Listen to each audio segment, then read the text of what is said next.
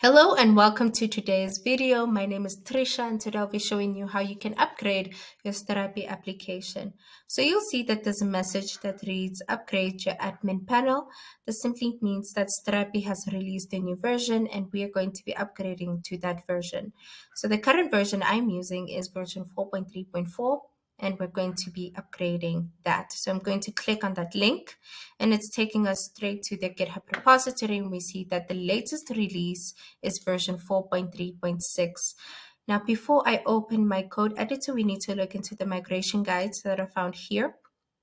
And the reason why we're looking into the migration guides is because some version updates, they're going to need you to change more than one file and do a lot of configurations. So fortunately for us, there is no migration guide specified to upgrading um, for this version. So I'm going to go back and you can also find the general update guides here. Now I'm going to open my code editor. I'm using Visual Studio and I've already stopped my Strapi server. So now we're going to open the folder where Strapi is installed, I'm going to click open the package.json file. What we're going to do now is we're going to be updating the dependencies. So we're going to change that 4 into a 6.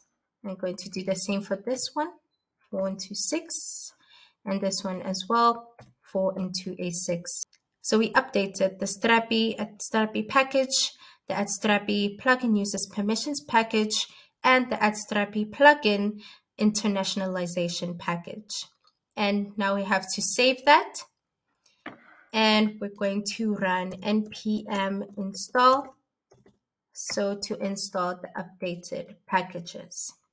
And that's done installing. And now we're going to run npm run build. So that builds our admin UI. We're going to wait for that to install.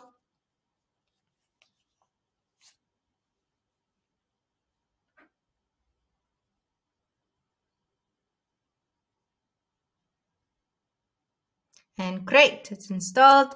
And now we're going to do is run npm develop.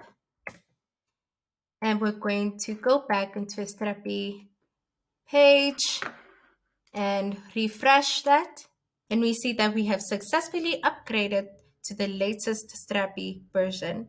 I hope you enjoyed this video and happy coding.